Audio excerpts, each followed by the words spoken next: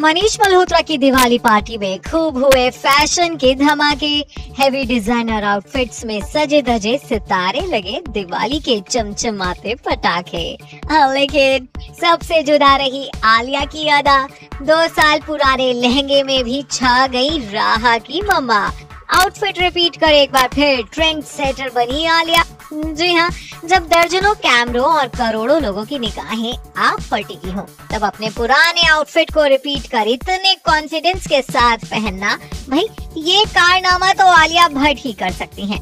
अब ये बात तो किसी से छिपी नहीं है कि आलिया अपने फेवरेट आउटफिट्स को रिपीट करने से जरा भी हिचकिचाती नहीं है नेशनल अवार्ड सेरेमनी में अपनी शादी की साड़ी पहन पहुँची आलिया ने एक बार फिर अपने वेडिंग आउटफिट्स के खजाने में से निकाला बेहद नायाब ड्रेस और पहनकर पहुँच गई मनीष मल्होत्रा की दिवाली पार्टी में।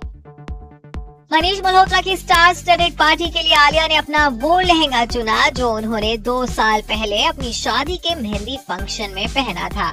इस पिंक लहंगे को आलिया ने साल 2022 में अपनी इंटीमेट मेहंदी फ़ंक्शन में पहना था। खास बात तो ये है कि इस कस्टम मेड लहंगे को मनीष मल्होत्रा ने ही डिज़ाइन किया था। हालाँकि रिपीटेड आउटफिट के साथ भी आलिया ने अपने लुक को थोड़ा सा अलग रखा, जो कि उन पर खूब जच रहा था। जहाँ मेहंदी के दौरान आलिया ने अपने बालों को मिडिल पार्टीशन के साथ ट्विस्टेड ब्रेड बनाकर टाई किया था, और बाकी खुले बालों को वे भी टच दिया था।